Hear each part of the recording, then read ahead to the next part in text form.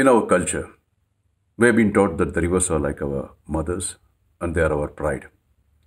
But unfortunately, today, all the rivers throughout our country Kaveri, Krishna, Godavari, Narmada they're all depleting at a very rapid speed.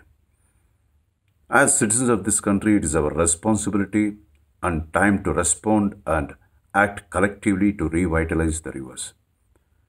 So please plant the trees to save rivers, which eventually save our next generations to come.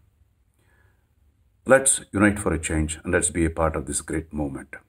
And from the bottom of my heart, I thank Sadhguruji who has initiated this great movement. Thank you. Jai Hind.